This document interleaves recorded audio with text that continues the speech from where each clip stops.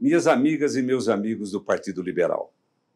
Essa semana enfrentamos um problema inesperado.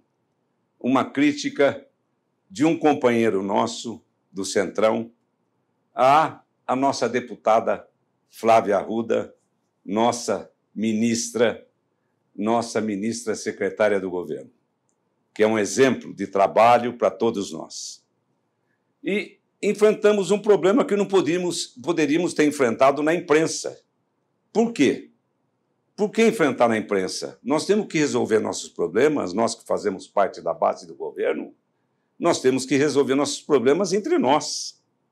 E aí, quando chega a imprensa, colocado isso na imprensa, eles colocam lá o Centrão quer a saída da Flávia. O Centrão não quer a saída da Flávia, porque eu não vi nenhuma manifestação do Arthur Lira, do Ciro Nogueira, nossa. Pelo contrário, nós queremos que a Flávia continue. Por quê? Porque a Flávia fez o que pôde fazer. Dinheiro vai faltar sempre. Agora, o grande problema que nós enfrentamos também é o seguinte: o pessoal fica muito valente quando, quando o Bolsonaro não está aqui. O Bolsonaro estava internado. Quer dizer, não seria um momento de nós partirmos por uma discussão pública. Isso ficou de maneira deselegante colocado.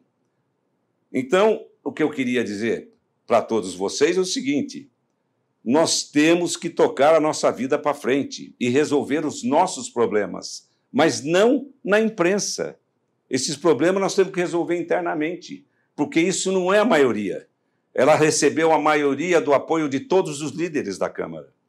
Então, nós temos que nos entender. Esse é o grande problema nosso. Nós temos que nos entender. E eu espero agora, com a volta do Bolsonaro, que o pessoal perca um pouco a valentia, que o pessoal fica muito valente quando o Bolsonaro não está aqui.